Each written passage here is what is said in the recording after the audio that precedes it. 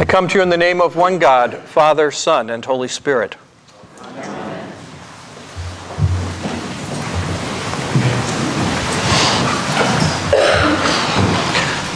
I've always imagined that Jesus' procession into Jerusalem was a bright, sunny day. Not quite like today. The cloaks being spread on the ground to keep the dust down, not to cover the rain soaked mud. Jesus enters Jerusalem, the city of peace, in a triumphal parade. The shouts of, Blessed is the King who comes in the name of the Lord, peace in heaven and glory in the highest heaven, resounded through the streets. The Pharisees in the crowd were not there to praise Jesus, but to watch him. They wanted this celebration to stop. Jesus knew what was happening, and he knew what was about to happen.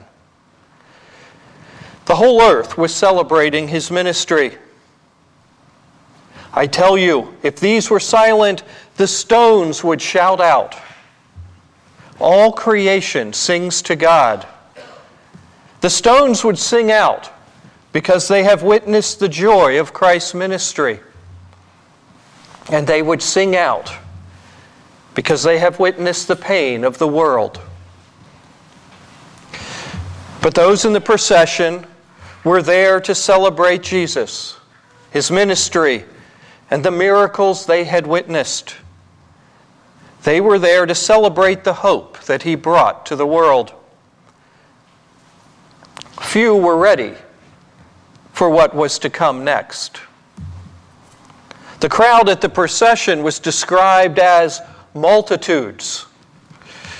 The crowd at the foot of the cross was to be numbered on one hand. It's only natural to want to walk the easy road. Few want to delve into the depths of the next steps that Christ will take. It is for this very reason that the liturgy this day was changed. The Passion of our Lord Jesus Christ is normally read just prior to this sermon. And then we're free to joyfully celebrate Eucharist. We're then able to walk the easy road and be removed from the power of the Passion. For many reasons time demands, commitments, and perhaps an uneasiness of venturing into the darkness of Holy Week.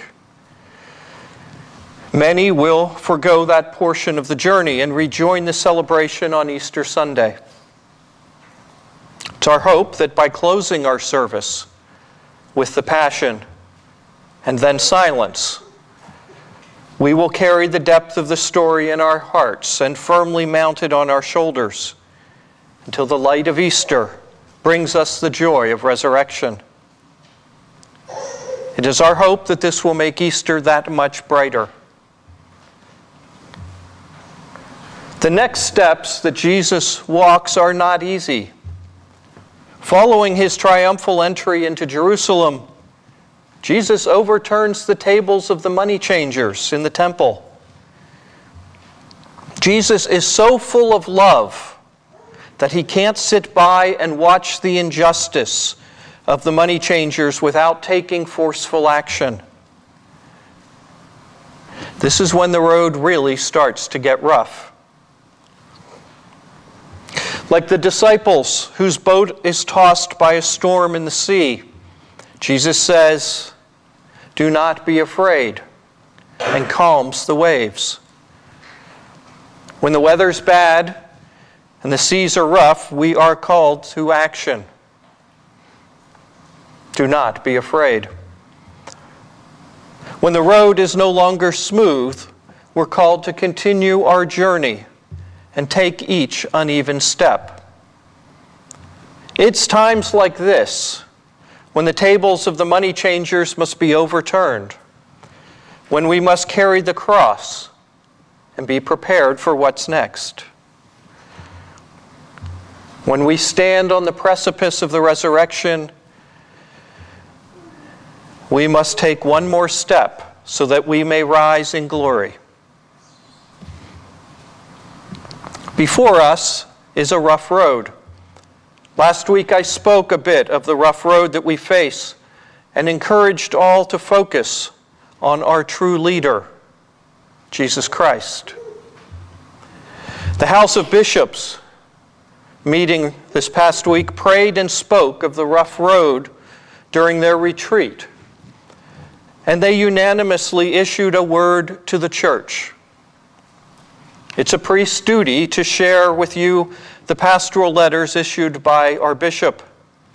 And on this occasion, the entire House of Bishops issued a letter to every congregation of the Episcopal Church. Here is their letter a word to the church. On Good Friday, the ruling political forces of the day tortured and executed an innocent man. They sacrificed the weak and the blameless to protect their own status and power.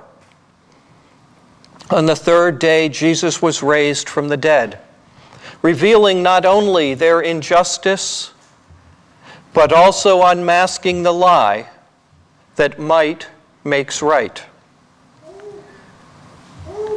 In a country still living under the shadow of the lynching tree, we are troubled by the violent forces being released by this season's political rhetoric. Americans are turning against their neighbors, particularly those on the margins of society. They seek to secure their own safety and security at the expense of others. There is legitimate reason to fear where this rhetoric and the actions arising from it might take us. In this moment, we resemble God's children wandering in the wilderness. We, like they, are struggling to find our way. They turned from following God and worshiped a golden calf constructed from their own wealth. The current rhetoric is leading us to construct a modern false idol out of power and privilege. We reject the idolatrous notion that we can ensure the safety of some by sacrificing the hopes of others. No matter where we fall on the political spectrum, we must respect the dignity of every human being, and we must seek the common good above all else. We call for prayer for our country that a spirit of reconciliation will prevail and we will not betray our true selves. The House of Bishops. Bishop Hollerith and all of his colleagues travel the same rough road that we do.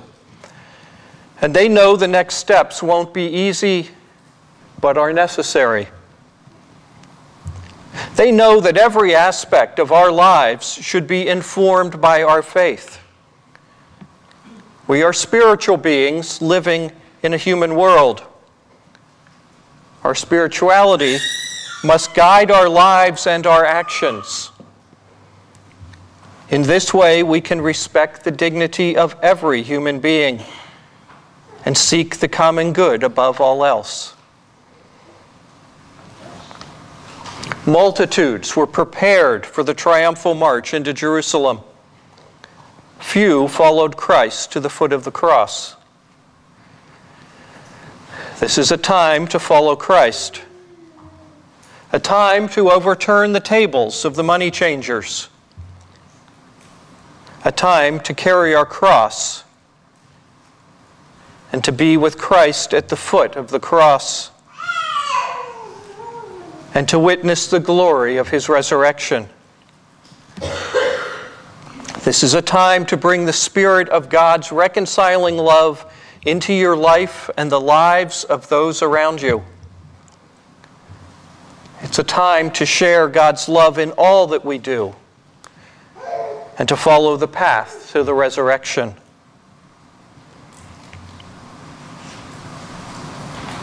Let us pray. God of compassion, you sent Jesus to proclaim a time of mercy, reaching out to those who had no voice, releasing those trapped by their own shame, and welcoming those scorned by society. Make us ambassadors of reconciliation Open our ears that we may listen with respect and understanding. Touch our lips that we may speak your words of peace and forgiveness. Warm our hearts that we may bring wholeness to the brokenhearted and dissolve the barriers of division. Guide the work of your church and renew us with the spirit of your love. Help us and all people to shape a world where all will have a place, where the flames of hatred are quenched, and where all can grow together as one. Forgive, restore, and strengthen us through our Lord Jesus Christ. Amen.